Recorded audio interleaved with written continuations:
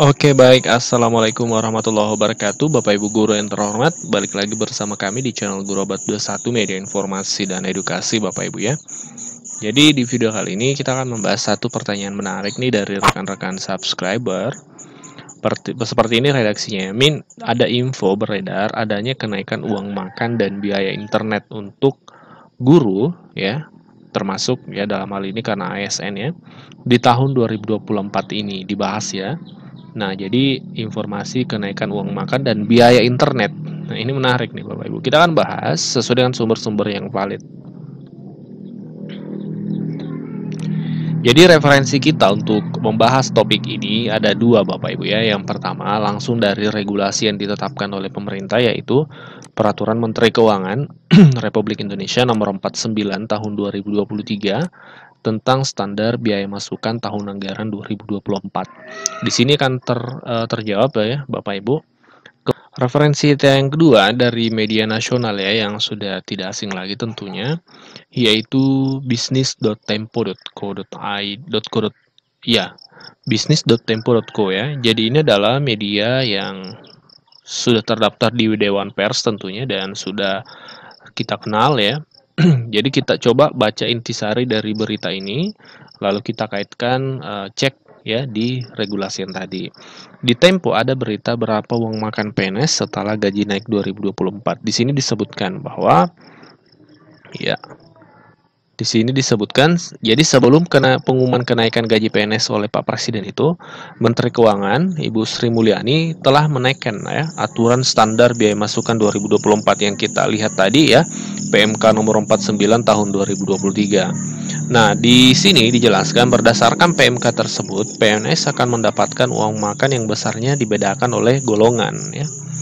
Yang pertama untuk golongan 1 dan 2 itu uang makannya 35.000 per harinya.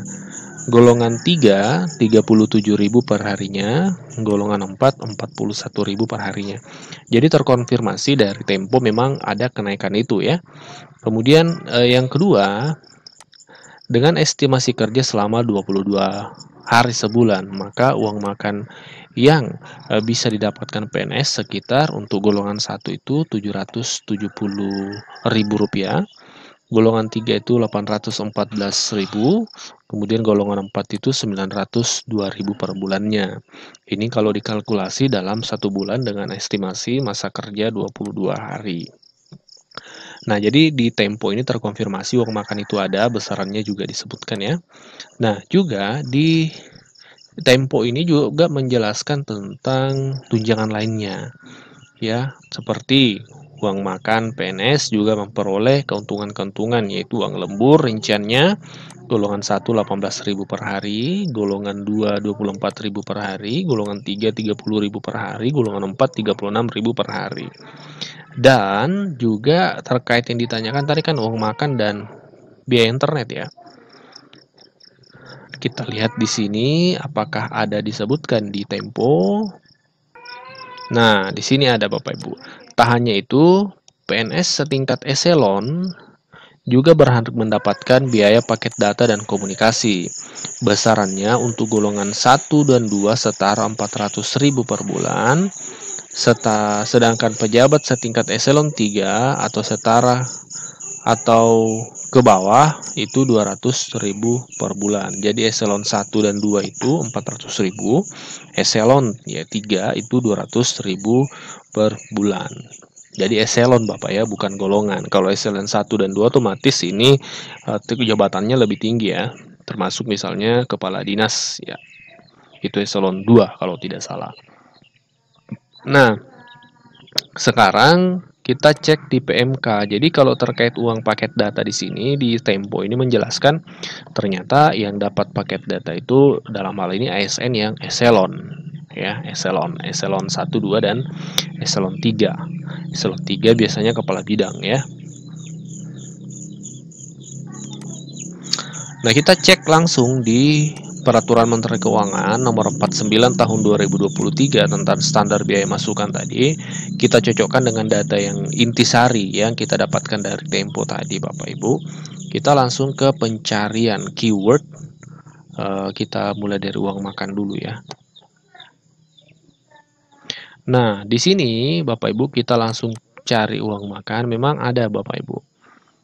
Satuan biaya uang makan bagi pegawai negeri ya dan uang lok pauk bagi TNI Polri besarannya untuk golongan 1 dan 2 itu 35.000, golongan 3 37.000, golongan 4 41.000. Jadi cocok dengan data yang disampaikan Tempo tadi, besarannya cocok ya terkait uang makan ini.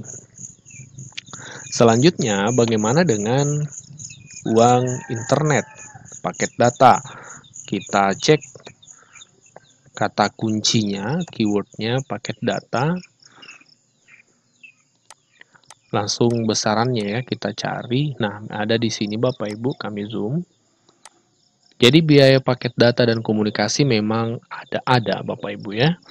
Di sini pejabat setingkat eselon 1 dan 2 yang setara OB orang per bulan ya. Jadi sini per bulan 400.000. Eselon 3 yang setara ke bawah berarti termasuk eselon 4 itu 200.000 per bulan untuk paket datanya.